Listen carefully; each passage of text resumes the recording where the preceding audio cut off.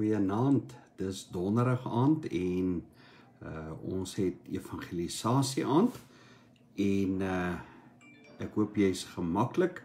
Ek hoop jy's warm. My vrou het nou net hier so by my 'n lekker beker koffie neergesit so vir die volgende 15-20 minute wat ons so 'n bietjie gaan gesels oor die onderwerp van uh evangelisasie. Um gaan ons uh wil ons so gemaklik as moontlik wees. Ek wil nie op my skerm wil ek net so paar veranderingkies aanmaak dat ek vir julle kan sien dat julle vir my baie duidelik kan sien. En uh, ons praat vanaand praat ons evangelisasie, maar ek dink voordat ons begin, kom ons uh, sluit die oë en uh, ons uh, vra die Here vir sy seën. Hemelse Vader, ons dankie vir 'n geleentheid vir 'n middel wat ons het wat ons kan leer dit wat u begeerte vir ons lewe is. U begeerte, Here, is uh nie net in hierdie onderwerp nie, maar in die lewe. U begeerte is dat daar nog siele gewen sal word vir u, want Here, ons weet dat u wil nie hê dat mense moet verlore gaan nie, maar dat mense gered moet word. So in hierdie tyd vra ek, rus ons toe Eh, maar is ons nie net toe nie, Here, maak ons ywerig vir hierdie taak waartoe U vir ons geroep het. En ek dank U daarvoor in Jesus naam. Amen. Uh nou ja, die onderwerp van van uh um onderwerp van evangelisasie om 'n siel vir Christus te wen is dit 'n onderwerp waaroor mense baie onkundig is en uh nie 'n onderwerp wat as belangrik beskou word nie. Mense dit nie as belangrik beskou nie, het mense nie baie uh groot vrymoedigheid in hierdie baie belangrike opdrag wat die Here Jesus aan ons gee, uh naamlik om siele vir hom te wen nie. Ons uh, lees dit in die woord van die Here, die opdrag wat Jesus aan sy disippels gee om die evangelie te verkondig Ons lees dit laasweek sien ons dit as die opening en die closing statement in Jesus se gesprek met sy disippels vissers van mense. Uh toe hy sy bediening begin het, toe hy sy bediening eindig, was dit vir hom van groot belang geweest dat sy volgelinge siele vir hom sal wen. En ehm um, ons het laasweek het ons gepraat oor die belangrikheid van siele vir Jesus wen en ons het dit ook gesien as die eksplisiete opdrag van die Here Jesus aan sy volgelinge uh aan die kerk dat ons onsself sal beywer om siele vir Jesus te wen. En uh ons het ook gesê dat dit is tyd vir die kerk om uit sy gemaksone uit te kom en um te beweeg uh, buite ons gemaksone sodat ons mense daar buitekant wat verlore is kan bereik met die met die evangelie. Ek dink aan die woorde van die Here Jesus um in Lukas 19 vers 10 wat sê van die seun van die mens het gekom om te soek en te red die wat verlore is. Dit was die rede vir Christus se koms na die aarde gewees om redding te bring vir mense wat verlore is. En as dit sy rede gewees het hoekom hy na die aarde toe gekom het, dan uh, is dit ook die rede uh, wat hy die kerk geskep het sodat ons hierdie evangelie van redding kan verkondig aan die wat verlore gaan. Laasweek het ek hierdie kwotasie vir u aangehaal, kwotasie wat uh, vir my so mooi is, wat so belangrik is, uh naamlik C.S. Lewis wat sê the church is the only institution that exists primarily for the benefit of those uh, who are not its members uh die funksie van die kerk is vir die wat daar buite is vir hulle voordeel. Uh die kerk kan nie en mag nie net vir homself bestaan nie. Die kerk is daardie liggaam wat God bekom het deur daarvoor te betaal met die bloed van sy seun sodat mense gered kan word.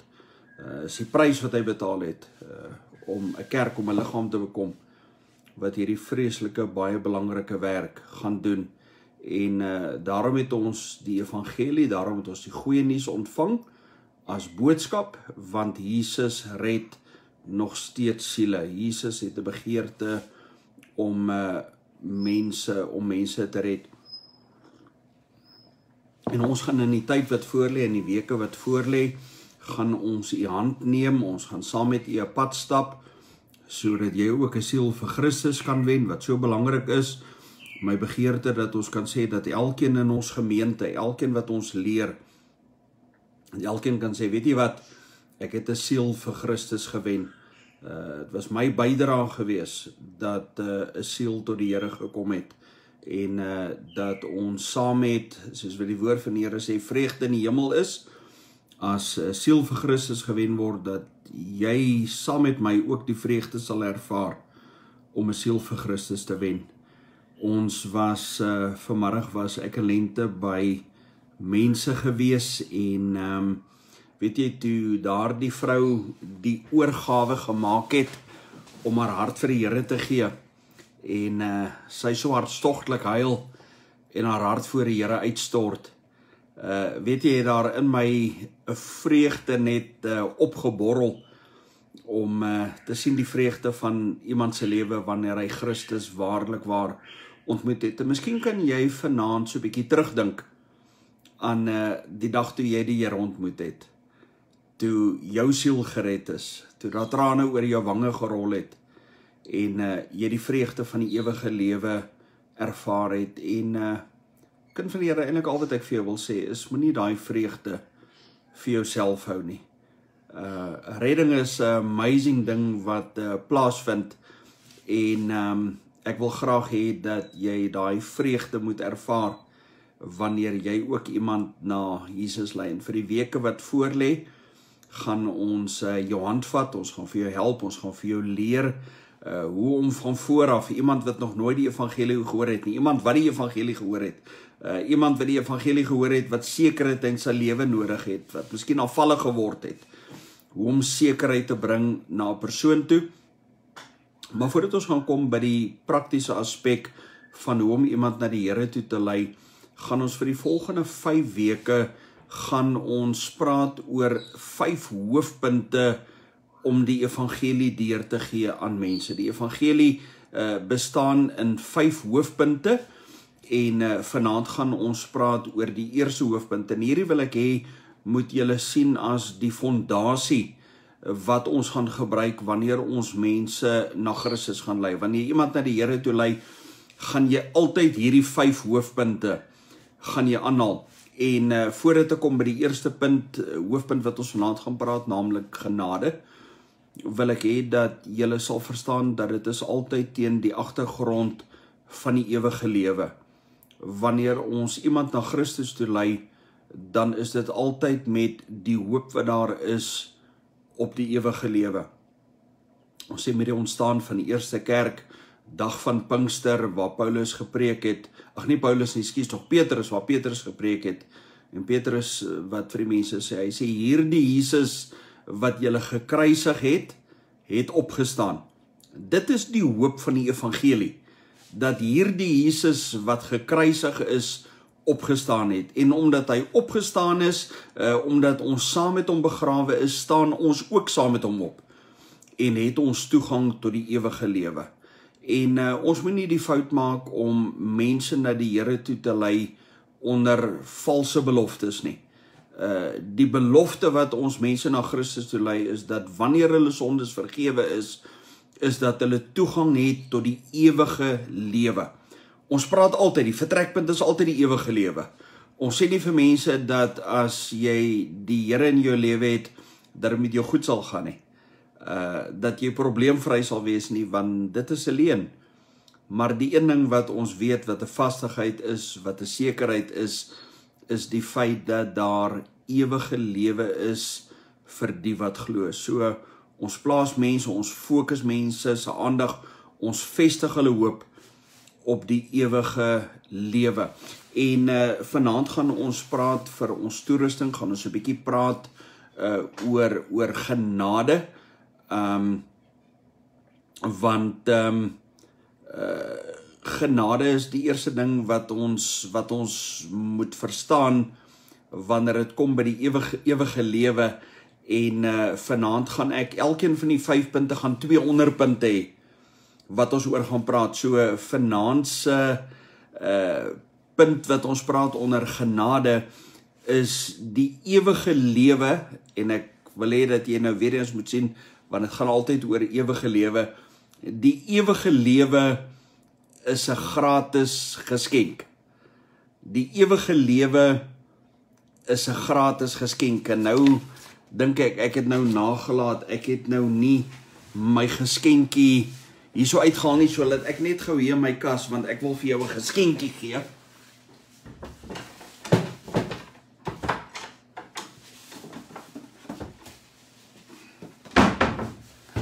Vra verskoning, maar ek het hierso 'n geskenkie wat ek vir jou wil gee, maar ons gaan nou by die geskenkie uitkom. Ek wil dit net hier neersit. Dit is baie kosbaar, dit is baie waardevol. Ek het dit daar in die kas gesit want uh, ek wil nie dit moet voete kry nie en ek wil ook nie dit moet val nie want dit is uh, baie kosbaar. Nou uh, die punt met genade is of genade as gratis geskenk is uh, elke geloof daar aan die buitekant praat van die geloof daar aan die buitekant, dan praat ons nou van al die gelowe van die wêreld met die uitsluitsel van die Christelike godsdiens uh leer ons dat die guns van 'n god of hulle god kan slegs verdien word. Elke geloof daar buitekant uh sal predik om te sê dat guns word verdien. Die Christelike godsdiens is die enigste godsdiens of die enigste geloof of hoe jy dit wil bewoord wat sal sê dat ewige lewe of guns of genade kan nie verdien dien word nie. So die eerste punt wat ons sê is dat die ewige lewe is 'n gratis geskenk. In die Christelike geloof kan God se guns en die ewige lewe slegs as geskenk ontvang word. Daar is geen ander manier wat jy dit kan bekom as die neem van 'n geskenk. So met ander woorde, wanneer hierdie geskenk vir jou gegee word, dat jy dit sal neem sonder om daarvoor te werk uh of om dit te verdien of daarvoor te betaal. So wat ek vanaand vir jou wil sê is dat wanneer jy in gesprek met mense is, is dat jy hulle gedagtes op die ewige lewe sal fokus. Uh ewige lewe kan verskillende benamings hê. Jy kan praat van die hemel, jy kan praat van ewig saam met God. Uh jy kan praat van die ewige lewe dat mense sal besef dat die hemel is 'n gratis geskenk. Dis iets wat die Here vir ons gee. Ons betaal nie vir die ewige lewe nie. Dit is God se geskenk aan jou. En die woord van die Here is vir ons baie duidelik daaroor want Romeine 6 vers 23 sê vir ons want die loon van die sonde is die dood maar die genadegawe van God is die ewige lewe in Christus Jesus. Wat hy vir ons sê is dat sonde het 'n prys. Uh maar die genadegawe van God, met ander woorde, die guns van God die ewige lewe is 'n gratis geskenk wat ons van hom ontvang. Die tweede punt wat baie belangrik is wat jy moet verstaan is dat die ewige lewe omrede dit 'n gratis geskenk is, kan nie verdien word nie. Jy kan nie daarvoor betaal nie. Jy kan dit nie koop nie. Jy kan dit nie verwerf nie. En ek wil vanaand vir jou sê daar is 'n wesenlike verskil in God se in God se manier van dinge doen en die mense manier van dinge doen. Jy sien van kleins af en vandag doen ons dit ons nog steeds met ons kinders en uh, ek vat gou 'n slukkie. Van jongs af het ons geleer dat daar is beloning vir dinge wat goed gedoen is. As jy iets goeds doen, dan is daar 'n goeie beloning daarvoor goeie werk gelewer is goeie beloning. Ons sien dit in die skole, uh ons uh, pas dit in ons huise toe. Uh hoe beter die werk, hoe beter die beloning. Ons sien dit baie in die korporatiewe omgewing ook. Die persoon wat hard werk is verseker op uh inkomste, op groei en dalk op 'n bonus of 'n beloning. So harder die werk, hoe beter die beloning. Maar God se manier is die teenoorgestelde. Want God se genade word gratis ontvang. Uh ons kan dit nie verdien nie. Ons kan nie daarvoor betaal nie. Is 'n gratis geskenk en die woord van die Here stel dit vir ons baie duidelik as ons lees Efesiërs 2 vers 8 en 9. Hy sê want uit genade is jy gered deur die geloof en nie deur jouself nie. Hy sê dit is die gawe van God. Met ander woorde, dit is die geskenk van God. Nie uit werke nie sodat niemand kan roem nie. God se genade, God se ewige lewe is 'n geskenk. Dis die belangrikheid daarvan dat wanneer ons begin om 'n siel te nader, om iemand met die evangelie te nader, dat mense sal verstaan dat dit is 'n gratis geskenk wat nie verdien kan word nie. Nou, ek het begin om vir jou te sê dat uh ek het vanaand vir jou 'n geskenk. Hierso is uh baie waardevolle geskenke. Ehm um, en uh ek wil nie vanaand laat jy raai wat dit is nie. Ek wil net vir jou sê dit is besonder kosbaar. Maar uh miskien kan ons en ek sien ons het mense hierso wat aanlyn is. Miskien kan ons vanaand 'n aanbod van jou kry. Wie van julle Miskien laat julle nie wetende is wat dit is nie. Julle moet maar my woord vat. Dit is 'n baie kosbaar en 'n baie duur geskenk. Wees bereid om vir my die beste prys daarvoor te gee. Julle kan daarso tik, julle kan julle aanbod maak en die persoon wat die hoogste prys betaal sal hierdie geskenk ontvang. Ek sien daar is geen aanbod wat gemaak word nie. En ek dink dit is omdat jy kan insien dat my woorde wat ek gebruik nie heeltemal met mekaar saamstem nie. Want die ding is is ek kan nie vir jou 'n aanbod maak om 'n geskenk te koop en dit nog steeds 'n geskenk te noem nie. Jy sien dit is onmoontlik om 'n waarde of 'n prys aan 'n geskenk te sit en dit nog steeds 'n geskenk te doen te noem. Jy sien dit help nie ek het hierso in 'n horlosie wat met 'n uh, eh, uh eh, goud en met diamante versier is en miskien ter waarde van uh 30 of 40000 rand in die winkel verkoop word en ek is bereid om jou aanbod van 10 of 20 rand te aanvaar nie. Die feit van die saak is enige bedrag wat jy betaal vir hierdie geskenk sal dit nie meer 'n geskenk maak nie enige bedrag wat jy betaal vir hierdie geskenk sal dit diskwalifiseer as om 'n geskenk genoem te word. So al is dit 'n bargain, uh as ek dit vir jou as geskenk gee, dan gaan dit nie meer oor 'n bargain nie. Die feit is dan is dit nie meer 'n geskenk nie. Miskien kan ek vir jou vra, het jy al ooit in jou lewe 'n geskenk gekoop? moes jy al ooit in jou lewe 'n geskenk gekoop het? En uh, die vraag daarmee saam was dit nog steeds 'n geskenk gewees? En die antwoord is nee is nie geskenk nie. Enigiets wat jy daarvoor moes betaal uh het daardie het daardie ehm um, waarde weggevat dat dit 'n geskenk is want as jy iets daarvoor betaal het is dit nie meer 'n geskenk nie dis bloot 'n produk wat jy gekoop het. Maak nie saak die waarde nie, maak nie saak wat jy daarvoor betaal het nie. As dit 'n duur produk was wat jy 'n min 'n lae waarde voor betaal het, dan het jy bloot 'n bargain gekoop. Nou uh jy weet dat die Here deel nie in bargains nie. Dit wat hy vir ons aanbied, dit wat God vir ons in sy liefde aanbied, is uh nie 'n bargain nie dis 'n gratis geskenk. Die woord van die Here sê vir ons baie duidelik uh 1 Korintiërs 6 vers 20 want julle is duur gekoop.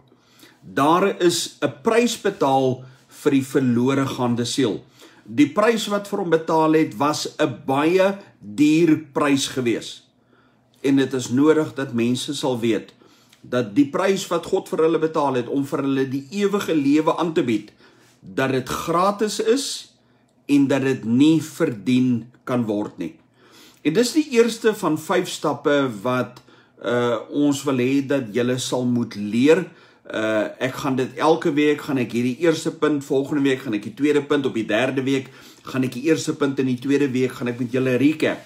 Dit is baie belangrik dat ons sal weet dat uh genade is 'n gratis geskenk en uh dat dit nie verdien ge, ver, ver, verdien kan word nie en dit kan nie gekoop word nie.